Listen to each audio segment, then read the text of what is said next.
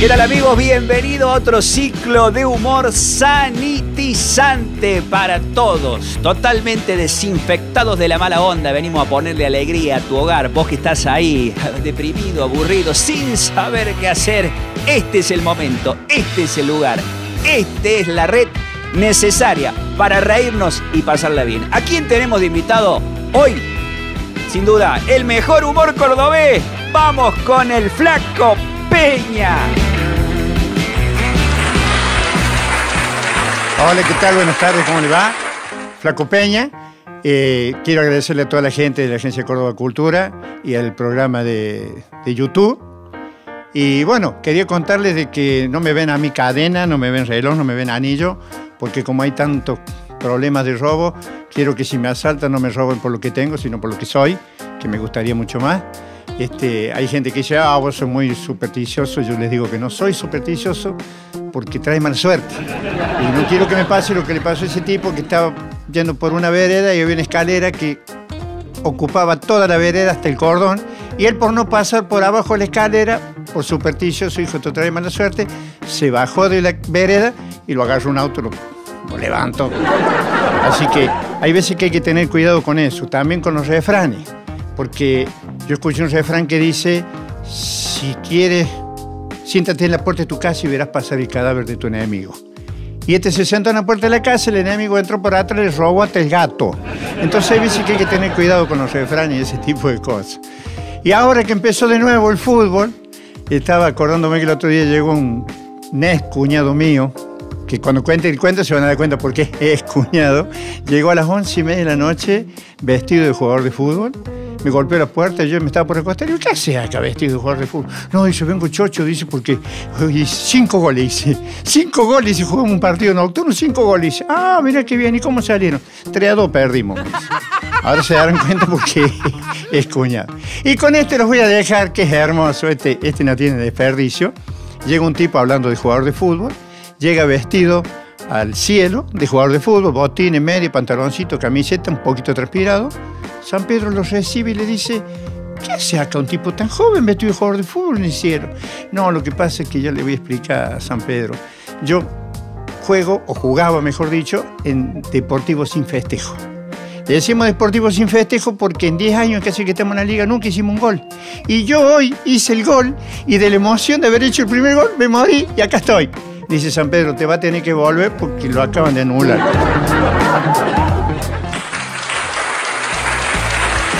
El stand-up de barrio llega de la mano del señor Fernando Ledesma.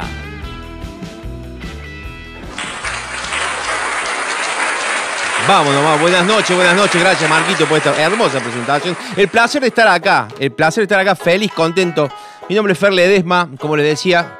Eh, de chiquito me diagnosticaron síndrome de repetición monosilábico. ¿Ustedes saben qué quiere decir eso? Síndrome de,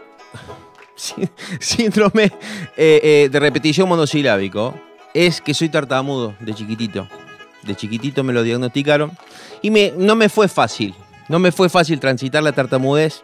Este, me acuerdo que me quisieron mandar a un colegio por tartamudo. Digo, ¿para qué si tartamudeo de 10? ¿Qué me quiere hacer un doctorado? ¿Qué me- ¿No? No hay necesidad.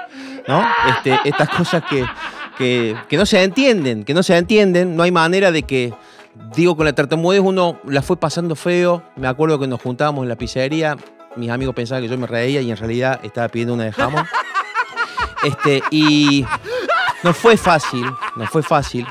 Este, los amigos, los más conocidos, me decían tarta, los que no me conocían tanto me decían pascualina, porque tarta era medio fuerte, medio demasiado. Este, pero no lo pasé bien, no lo pasé bien con la tartamudez. Fui, fui a varios profesionales que me decían, algunos me recomendaron hacer radio, si era repetido era mejor. Este, y ¿cómo es? Eh, no fue fácil, no fue fácil. Me acuerdo que me llegó la época en la que me quería declarar a la persona que amaba, la que quería, en la plena adolescencia. Y claro, yo ya tenía la frase en la cabeza, ¿no? Como decir, sos el amor de mi vida, quiero pasar el resto de mis días con vos. Empecé muy bien la frase. Cuando la terminé, la piba ya se había casado, tenía dos, dos chicos. Creo que estaba por ser abuela. No me, ayudó mucho con la tartamudez. Eh, no es fácil, no es fácil, lo padecí. Hasta que un día, hasta que un día dije, esto no va más. Eh, porque un día yo me quedé como haciéndole nudo a los borseos de la policía, ¿no? Como que me, me quedé atando cabos. Y dije, este, si la gente cuando come ajo lo repite, digo, a mí me habrán puesto baña cabo de la mamadera, o sea, porque no, no puedo tartamudear tanto así. No, no es justo. Reíte si querés, Sonso. Digo, ¿no? Es como que eh, es difícil, es difícil la tartamudez. Los agarré a mis viejos un día y le digo, ¿saben qué? Ustedes no me están ayudando. Dos horas y media tuve para decírselo. ¿No? Este, ¿qué me contestó mi viejo? Claro, para vos es muy fácil decirlo. Yo me quedé mirándolo como limpia vidrio que le dicen que sí, ¿viste? No entiende nada el limpia vidrio que le dicen que sí, ¿no? Es, lo primero que piensa es, ah, este me quiere chorear el palito. ¿No? Como que no entiende nada el limpio vidrio. Pero digo, yo, yo me quedé sorprendido, ¿cómo, ¿cómo, puede ser? Que no les conté de mi familia. Vengo de una familia en la que mi mamá vive, mi papá murió hace nueve años más o menos. Nueve años. Eh, el pobrecito era hipertenso, este, le habían hecho dos bypass, e, era diabético. Al último le decían Parque Las Heras porque estaba muy cerquita del ACB. Eh, frente casi. Este, ¿cómo es? Y, y este, bueno, eh, y mis viejos no me pudieron ayudar. No me pudieron ayudar. Pero ¿qué me pasó a mí?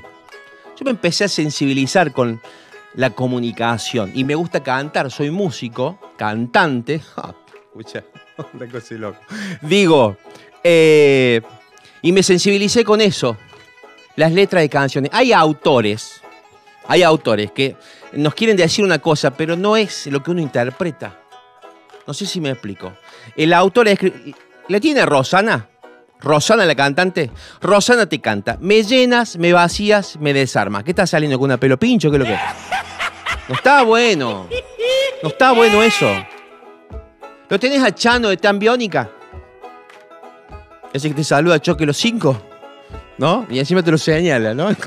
digo, Chano de Tan Biónica dice: Yo sigo con vos, yo sigo de largo, voy a buscarte. Yo que la piba le digo, Chano, nos juntamos allá, me llevo a mi viejo, olvídate, yo soy re puntual, olvídate, no te hagas drama, no te hagas drama. Entonces, digo, me sensibilicé con eso, con la comunicación, tenemos grandes problemas de comunicación. Bueno, Julio Iglesias dice que es una canción también cuando fue a comprar ropa.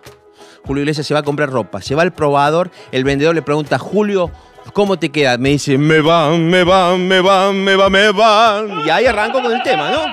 Una huevada que suma, pero que está, que está bueno. Digo, bueno, la comunicación. Tenemos grandes problemas de comunicación. Viniendo para acá, me encuentro con un flaco. Me dice, digo yo, ¿qué hace? ¿Cómo estás? Bien, bien. Me dice, por ahora. Le digo, flaco, paso media hora más tarde, te pregunto de nuevo. Yo no quiero hacer un lío de esto, digamos. ¿ah? Decimos cosas sin sentido. Sin sentido. Una vez me bajo del escenario, me bajo del escenario Vino un flaco, se me arriba y me dice, pelado, vos para mí siempre fuiste una referencia. Digo, bueno, muchísimas gracias. Sí, dice, porque de donde vivís vos me bajo con el bondi y a la vuelta voy al dentista. Digo, ojalá te queden bien los brackets, ¿no? Y me di media vuelta y me fui. Digo, decimos cosas sin sentidos. Los problemas de comunicación que tenemos son graves, son terribles. Entonces, y volviendo con esto, digo, eh, la gente, ¿no? Eh, la verdad que estaría bueno vivir en un mundo lleno de igualdades, vivir en un mundo eh, de mucha paz. Y qué bueno que sería vivir en un mundo sin contraseña. Ya está. Ya está todo contraseña. El home banking contraseña, el Facebook contraseña, el WhatsApp contraseña. Eso porque estás cochino. Digo, pero todo contraseña. Espera un poquito. El otro día quise tener relaciones con mi señora, me dice, dígame la contraseña. Le digo, la tengo como un turrón. Me dice, esa contraseña caducó hace cinco años. Me dice, digo, para un poco, para un poco, no hay necesidad. Corregime los horarios, por las dudas lo del horario. Bueno, digo, no, che, no puede ser. Pero digo, estamos, estamos ahora, el stand-up, les cuento, es una manera de contar cosas cotidianas desde una vista llena de gags. Ahora, no somos contadores de cuentos, pero si ustedes me dejan, yo, yo les puedo contar un cuentito. ¿Me dejan que les cuente un cuentito? Ahí va, bien. ¿Cómo te quiero, Sonso? Mira, Blanca Nieves, Blanca Nieves y los siete nanitos. Blanca Nieves se va al altillo a cambiarse y los siete nanitos, uno arriba y el otro, pa, pa, pa, pa, pa, pa, y el de arriba empieza. Claro, este ojo tenía que ser. se sentó. Se sentó, se sentó, se sentó, se sentó, se sentó. Se sacó la remera. Se sacó la remera, sacó la. Se sacó la camisa. Se sacó la camisa, sacó la camisa. Se paró. A mí también. A mí. Perdón. No va, no va a volver a pasar. Perdón, perdón, perdón. Fue sin querer. Este, ¿cómo es? Digo, bueno, hay grandes problemas de comunicación. Y hablando de comunicación, también están las redes, ¿no? Las redes estas tan, tan, tan, tan habituales hoy por hoy, tal moneda corriente hoy por hoy, ¿no? Es como que han cambiado los, los tiempos de comunicación. Descubrí también que las abejas hoy se comunican por... ¿Por qué se comunican las, las abejas? Por Zoom vidos. ¿No? Bueno, digo, ¿no? Es como que es así. Los, los, los porcinos, ¿cómo se comunican? Por video chanchada, ¿no? Algunos otros también hacen video chanchada, no lo vamos a decir. No vamos a dar nombre, prometo que no vamos a dar nombre, pero digo, eh, está cambiando esta pandemia, digo, la comunicación y las redes sociales. Las redes sociales, yo le voy a comentar que bajo mi concepto y mi criterio han sido creadas e inspiradas en la hora pico de la despensa. La hora pico de la despensa hay más gente que una manifestación de un campeonato de taller en, en el patio Olmo. O sea, la despensa se, se, llena de gente, se llena de gente. Y ahí, ahí se crearon las primeras eh, eh, eh, redes sociales. ¿Por qué? Empiezan a aparecer los personajes. Está el famoso foto de perfil, que es el que la puso una vez y es mentira. después está el otro, el, el, ¿cómo se llama? El influencer, que tiene un carácter podrido. ¿Por qué? Porque de todo te hace una historia. Después está los López. Los López tuvieron 14 chicos. Que a los López le dicen video viral porque tiene muchas reproducciones. ¿No?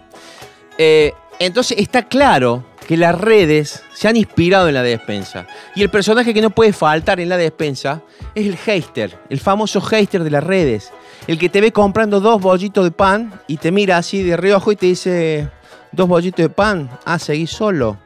¿No? Malintencionada, ¿no? Es como que mala gente, mala gente. Eh, ¿Vos tenías un auto gris? No, no, porque ahora lo vi medio rosadito, que nos emborrachamos anoche.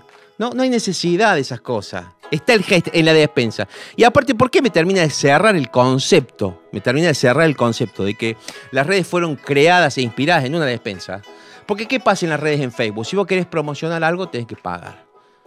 Si le quieres dar fuerza a una publicación, tenés que pagar. Igual que el despensero. No te fías. Buenas noches, muchas gracias.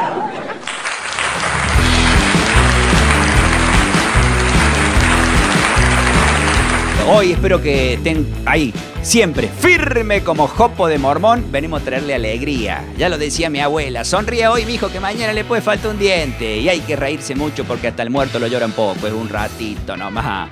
Así que a practicar la risa. Y para eso está humor sanitizante, para que nos divirtamos, distanciados, pero juntos, juntos, unidos por la risa. Y lo más lindo del humor soy yo. No, señora, no soy feo. Tengo la cara desordenada nomás, ¿eh? Yo me acuerdo que cuando nací, el médico le dijo a mi madre, mire, yo lo tiro para arriba. Si vuela es murciélago, si se queda quieto es un mono.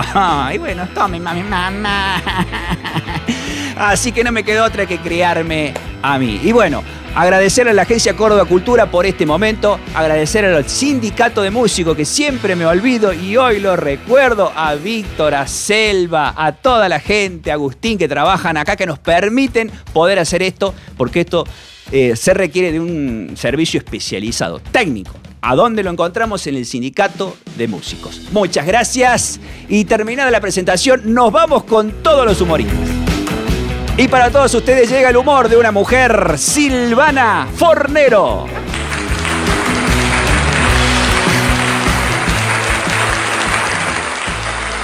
Hola, hola, hola, ¿cómo están? Vengo a hacer un streaming para todos mis seguidores y toda la gente que me sigue.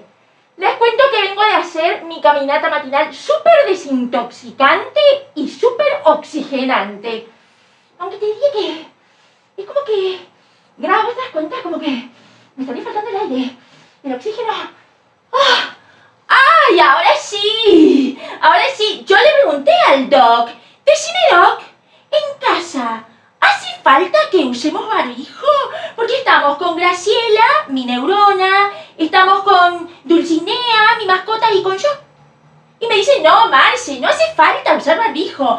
Bueno, porque yo, cuando empezó la cuarentena, le pedí a mi super diseñador exclusivo que me hiciera un barbijo que tuviera que ver con todo mi outfit. ¿Te das cuenta? ¿Me tomas? Sí, y me dijo, pero Marce, ¿no ves que las tiendas están cerradas? Mándame vos un material que tengas en tu casa.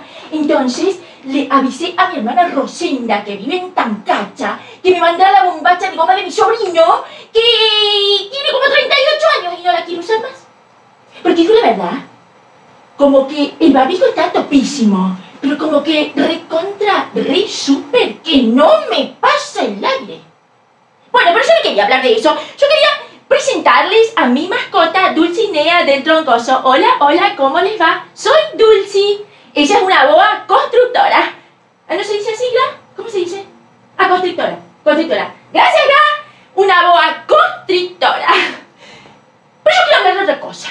Hay una cosa que me tiene como loca. Esta cuestión de la cuarentena, que la gente está como loca, que te manda su historia de amistad, que todo el mundo se quiere comunicar, y yo no entiendo más nada. Déjame que te diga una cosa, y te lo digo a vos. Y te lo digo a vos.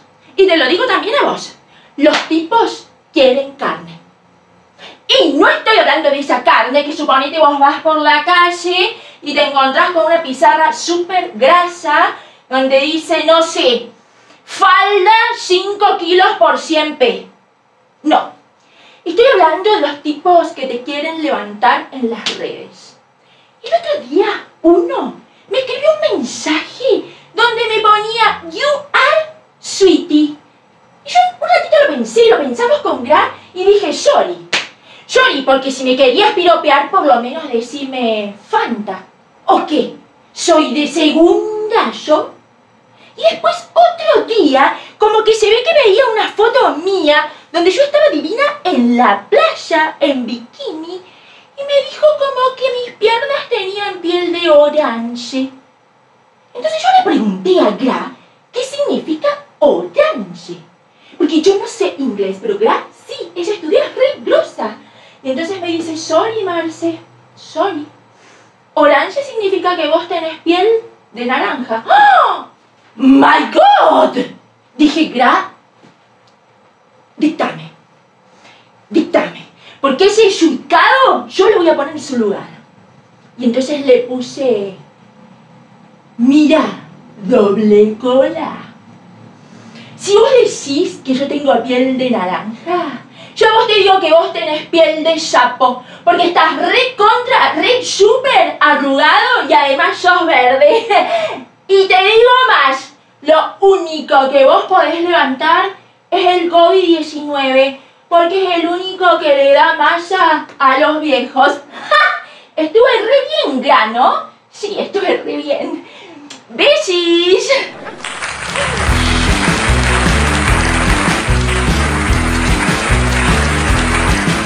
Traemos el humor también no solamente de Córdoba capital, sino del interior de Córdoba. Personajes, canciones, humor, chistes, cuentos, qué alegría, por supuesto. Y llega para todos ustedes desde la granja. El señor Carlos Ruiz. ¿Cómo le va a la gente linda de Córdoba, a la gente de Córdoba Cultura? Agradecido por la invitación. Vengo de un pueblo muy chico, que es La Granja, acá en las Sierras Chicas. Y en esos pueblos chiquitos, ¿sabes lo que tenemos siempre? Los personajes. A mí me encantan los personajes de mi pueblo. Uno de los personajes más lindos es el, el cura de mi pueblo. Y cuando digo cura de pueblo, es porque un cura de pueblo. Usa bombacha, alpargata, duerme la siesta con la maestra. Un amor. Chusma mal. El negro se va el otro día, confesa, ¿viste? Y el cubrita se sentó y ya lo vio el negro, y dice, hola, ¿cómo andás? ¿Con quién tuviste el sábado? No, padre, yo no le voy a decir. Mire que si no me decís, Dios no te va a perdonar. ¿Con quién tuviste? Decime, dale. No, padre, yo no le puedo decir con quién tuve. Ya sé, dice el cura, ya sé. Estuviste con la Anita, la hija del, del verdurero. No, padre, no. No, con la Anita no. Ah, con la Carmen. La Carmen, dice la, la, la- la que está en la entrada del pueblo. Ahí la Carmen que dice que está muy linda y que es media fácil. No, padre, no, con la Carmen, no, no, jamás. Cura lo dice, ah, ya sé con quién tuviste vos con la Luli, le dije el ferretero, que también me ha dicho que está bueno. Y que, no, padre, no he estado con ella. Bueno, listo, entonces ándate, que Dios no te perdona, ándate, raja de acá. Y el negro salió de la iglesia mal y se encuentra con un amigo.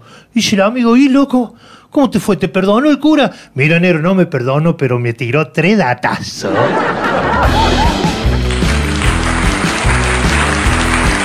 Seguimos con más humor y se viene una femenina espectacular. Los dejo con Fabiana García.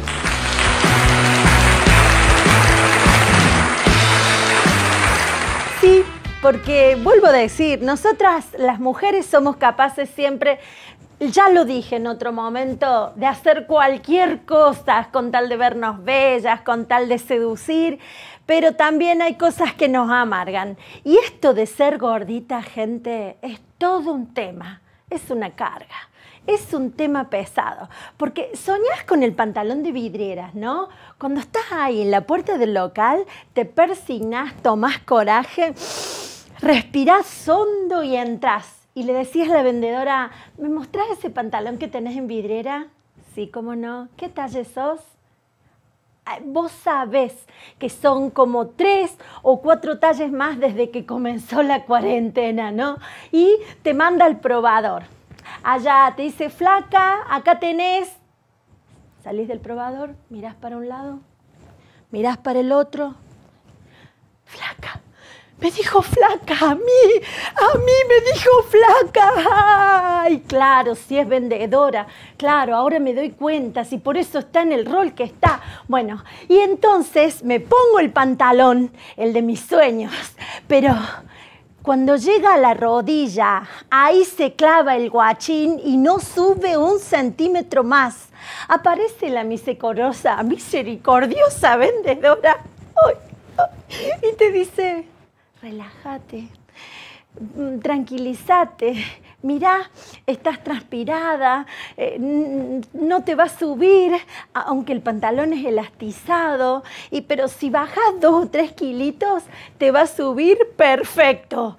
Hija de remil, pu, pu, pu, tenés ganas de decirle, hace una semana que largué el criollo y la chipaca y tomo solo agua, y logré bajar 500 gramos, y estoy rogando que una vez que me sube el pantalón no salga disparado el botón porque le saco el ojo a alguien, y ahí sí me como un juicio de aquellos. No, no, no. Sí, ya de por sí, cuando uno es gordita, uno se siente mal por uno mismo. La gente también te hace sentir mal. Otra vez, estaba en la puerta de otro local y ahí estaba. El pantalón que me, que me volvió loca, el pantalón que me terminó enamorando. Ay, sí, porque yo tengo una obsesión con los pantalones, ¿no? Y ahí estaba él. Yo sentí que había conexión, sí, como una comunión. Él me habló y me dijo, llévame, soy tuyo, nací para vos. Ay, gente, ay, ante semejante confesión, ¿cómo me voy a negar lo que yo jamás me lo perdonaría? ¿Qué hice? ¿Qué hice? Cierto que no me pueden contestar. Entré al local, entré al local y le dije a la vendedora, ¿me mostrás ese pantalón que tenés en vidriera del cual estoy totalmente enamorada? Ella me dice, sí, ¿cómo no? Vas a quedar bárbara. ¿En serio? Le digo yo. Sí, me dice ella. Elegiste el regalo perfecto para tu amiga.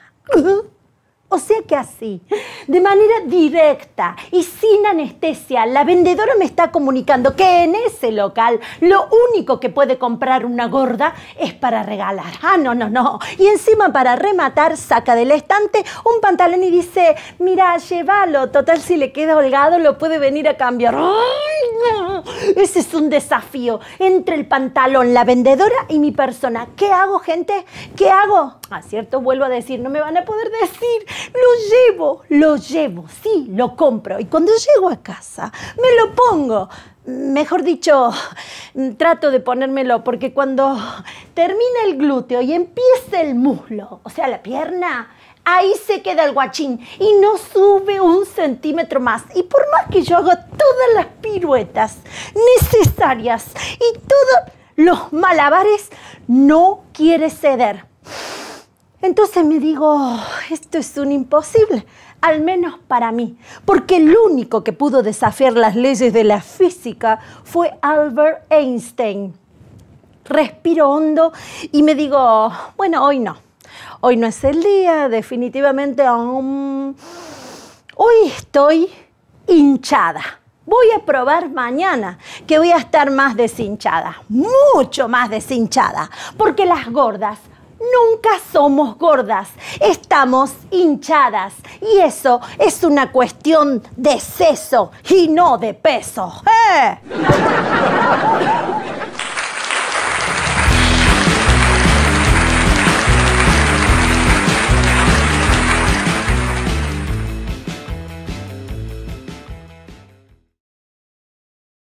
Hagamos un asado, tomemos fernet,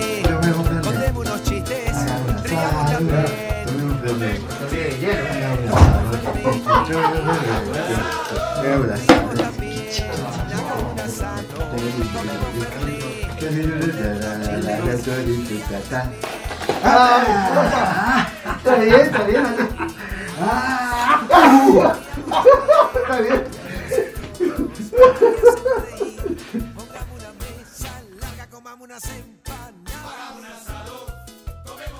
Fernesazo.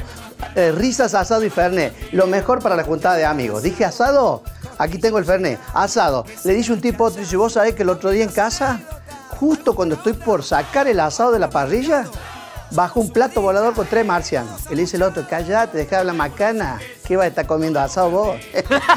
risas, asado y fernet. Toma.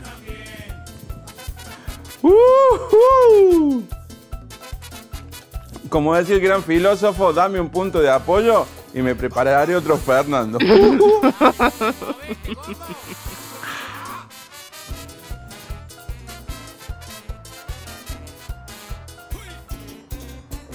Ah, este me hace acordar, mira, ese negro manguero. ¿Cómo será el manguero? Mira que tenía que andar musculos en el barrio para que no te mangue el negro. Terrible manguero el negro, bien cordobés, que le gusta ir al kiosco, porque el cordobés es kiosquero. Y estaba en uno negro tomándose un cervezón ahí en la veredita y cayó este negro manguero. Oh, apenas lo vio. Dice, loco, dame un traguito. Miren lo que el cordobés, ¿no? Uno de los que estaba tomando dice, mira, loco, rey, vieja, yo te daría, hemos comprado media. Y la parte mía está abajo. Y el negro que mangueaba dice, no importa, loco, yo tengo una bombilla.